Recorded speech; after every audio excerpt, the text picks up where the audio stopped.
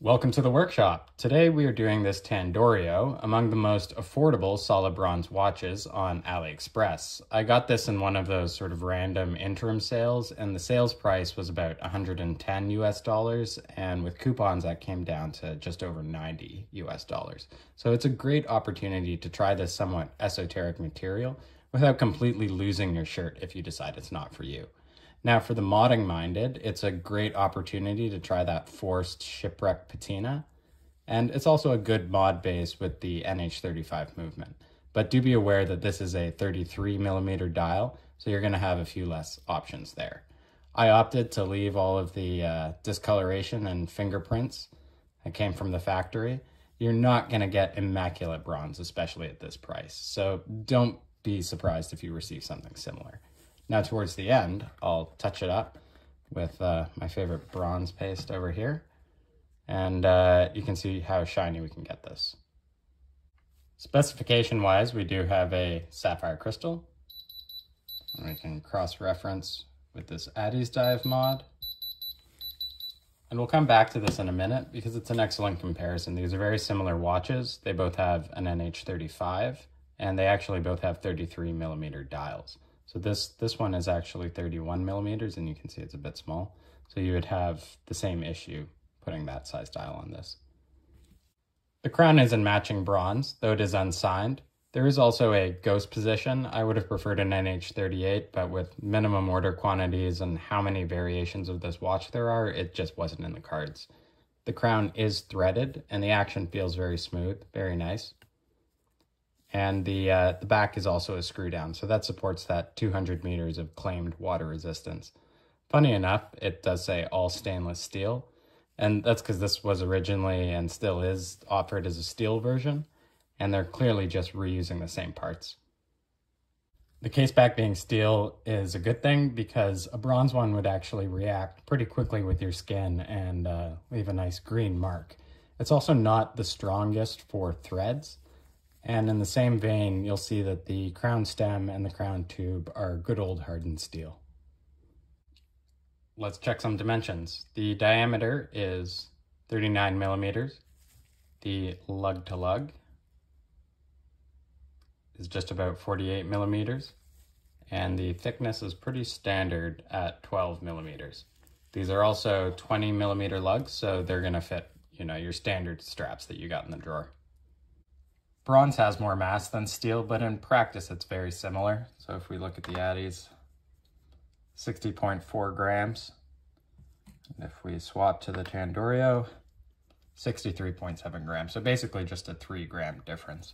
Now, what I'm not a big fan of is the proportions of the lugs. And as opposed to the Addy's Dive, which is much more of a, a true pilot's watch case, these are quite a bit chunkier. And I can measure it for you but it's three millimeters at least. Whereas the Addy's dive is basically 2.5. So it might seem like a minor difference, but that disparity is going to make them sit differently on the wrist. So for better or worse, the Tandorio is going to be a bit more prominent. Basically, they cut corners by forcing this case into two roles. Instead of a more svelte pilot, we've got the utilitarian lugs of a field watch. So ultimately, there is going to be a downside to a huge variety of choice if it means that the designs get a bit homogenized. Speaking of variations, this style is my pick of the bunch. The cathedral hands and the neo-Gothic numerals, now they might not be totally unique, but it is certainly a less common style. They harken back to interwar pilots' watches, but also a little bit further back to First World War trench watches. So I guess that somewhat justifies the mixed case style if we're making excuses. I also like the sort of steampunk vibe that we get created in unison with the bronze case. I'm not going to bother with the lume, we know it's not great, and adding this fauxtina color just seems to make things worse. You can also see that the hands and the numerals don't match, now that fauxtina of any kind and the uh, the non-matching colors, that would really bug me on a steel watch. But in fact, with this, with the bronze case, there's just enough of a spectrum of warm tone, warm tones, including the uh, the red numbers on the on the minute track there, that it blends the color just enough. Something that also doesn't really come across in the photos is the subtle sunburst pattern that we get to this dial. So you get a bit of visual interest up close and this really nice charcoal color. Now, credit where credit's due. If you ask me, Tandorio is doing some interesting stuff. They do some offbeat watches like these bronze watches. They do an SKX uh, 013 homage. And they are also one of the few brands to actually have a logo, which I think is pretty well executed up here. I also think it's kind of fun to say Tandorio, right? That's much better than Parnis, which looks kind of like penis, or Corgeut, courgette, which, you know, really sounds like a French zucchini. Simichrome.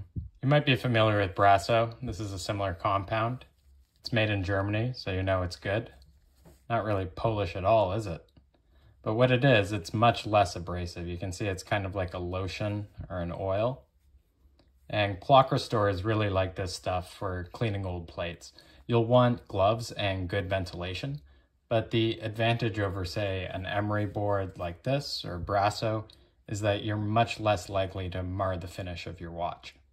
I like to start with a small dab on a Q-tip and just starting from an edge, paint a couple dots on, and then just work our way in. And that's with a small circular movement. Best practice would be to keep the circles as small as possible, but that has to be a pattern and a speed that you can keep up for the whole piece of work.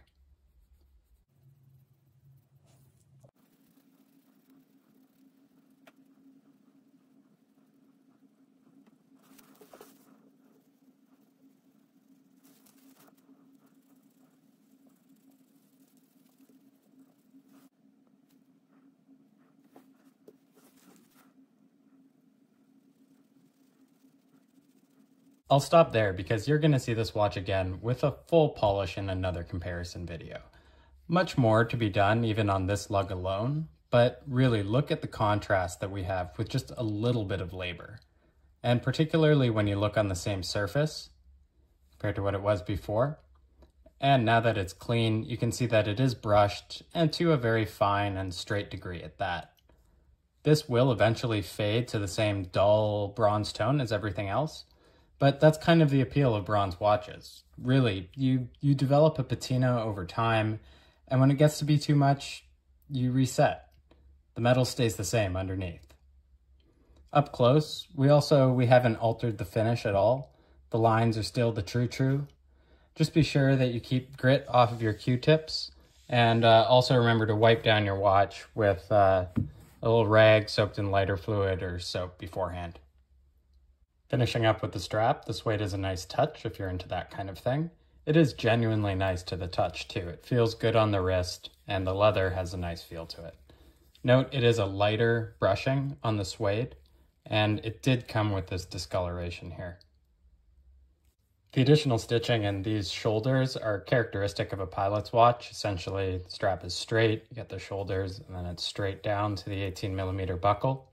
It is kind of a bummer that we didn't get a bronze buckle to match the case, but surprisingly, I really rate this buckle. It's got a nice brush texture on top and polished on the sides, and then these relieved sort of low profile corners. So, you know, if you're going to play around with different straps, this would be a great strap for a different watch. And, you know, there's a lot of fun to be had with uh, different colors in the bronze. Thanks for sticking around. How did you like this slightly more hands-on format? I'm working on a mod for next week. Hope to continue. Newly released cases and everything. You know, it's a bit of a challenge, my friends, what with the moving parts, with the talking, the modding, and the filming, Galiven. But I'm, uh, I'm thankful for y'all, and I want to keep improving. Thanks again, and see you soon.